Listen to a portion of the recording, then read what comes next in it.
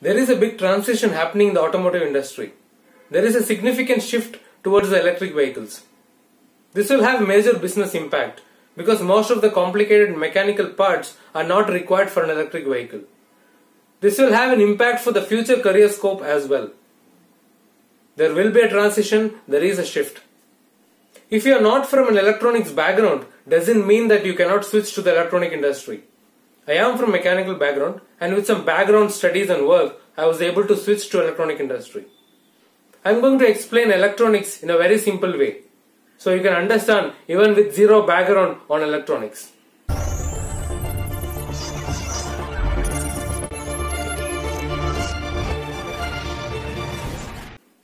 If you are from mechanical background, try to learn both. That will make your career amazing. We have already studied this. The proton, neutron and electrons. Movement of free electrons is nothing but electricity and the substance which has more free electrons will conduct more electricity. When I say flow of electricity, you cannot easily visualize. But when I say flow of water, you can visualize because you have seen water flowing. For easy understanding, let's consider water as electricity and the flow of water as flow of electricity. Conductor. Conductor is a substance which allows electricity to pass through it. If electricity is water, a hollow pipe is a conductor. Voltage. The value represents the potential difference between two points. Let's try to visualize in a waterfall. Water on top of the waterfall will have more potential energy in it than water in the bottom of the waterfall. This potential energy difference between these two points is called as voltage. Current, value representing the flow of electrons, measured in amps. Let's try to visualize that in just a river, a flowing river. Instead of electrons, the water flows. There is a current, power, the transfer of electrical energy from one form to other form. We all know the law of conservation of energy. This is measured in watts.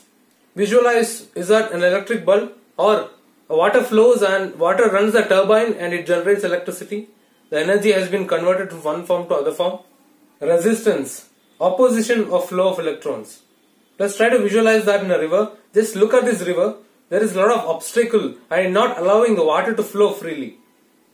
This is measured in ohms. And the components used for this purpose is called as resistors. Capacitance, phenomenon which stores the energy in the electric field. Let's try to visualize that in a dam. The river flows and when the dam is constructed, it stops the water and more and more water flowing towards that will create a potential energy there. And this will run out of the energy if not more water is filling to the reservoir. This potential energy of water you can relate to voltage in electricity. A capacitor is a dam. Inductance, the device that stores energy in the magnetic field and measured in Henry. Let's try to visualize that in a water wheel. When the river flows, the flow of the river, the flow of the water pushes the wheel and the wheel rotates and it stores kind of energy. And if the water stops, the wheel will continue to push the water down the channel. And meanwhile, this will also run out of energy if no more water pushing the wheel. And these inductors are made by coiling wire around a core. It can be used to store energy and transform power. Diodes allows us to control the current in one direction. Imagine a pipe in which water is flowing and install a valve in that so that the water should pass only to one direction. This is the job of a diode. Water flowing in one direction, on the other side it's obstructing the flow in the other direction. Semiconductor. Water is flowing through the pipe and what if you put some stones and other obstacles into it? It reduces the flow of water. So materials whose electrical conductivity lies between that of insulator and conductor. It can act as electrical conductor or insulator based on the chemical alterations given to it. A transistor. You might have heard about the floodgate. A floodgate can stop the water and it can control the flow of water based on the lever operated. A transistor is just like a switch in the wall. But electrical voltage is used to turn the switch on and off instead of a lever. You can visualize a water reservoir, a source and drain and a floodgate in between which is used to control the flow of this water. PCBs, printed circuit boards, are laminated structure of conductive and insulating layers. PCB has mainly two uh, functions. One is affix all these electronic components within the designated locations and provide reliable electrical conductivity between these components. And this will have a microcontroller as well in which a software program is loaded just like an OS which is installed in your computer. And the software which is flashed into the microcontroller controls the device, controls the flow of electricity between these electronic components which are affixed into the PCB. Components manufacturers. These are the major companies they manufacture electronic components. And there are passive components and active components. Resistors, capacitors and inductors are called as passive components. They are not capable of amplifying or processing an electronic circuit.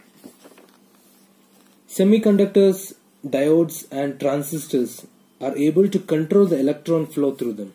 They are active components. Circuit boards. The solder chip is printed on the board in which the electric connections are made by these lines. And electronic components that we discussed earlier are soldered into this printed circuit board to form the printed circuit board assembly.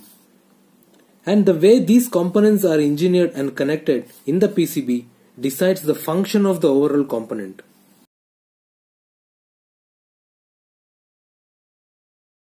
These are some of the EMS companies or electronic manufacturing and service companies. These companies design, manufacture and distribute the electronic component assemblies as per the customer requirement. They usually buy the electronic component from the electronic component manufacturers and they buy the printed circuit board from the printed circuit board manufacturers and make the assembly. They make the electronic product, say a complete control unit, and they supply to OEMs like Tata, MG and Daimler. So the future career opportunities in EMS industry and electronic component manufacturers are expected to go on a higher side. This is just the first step.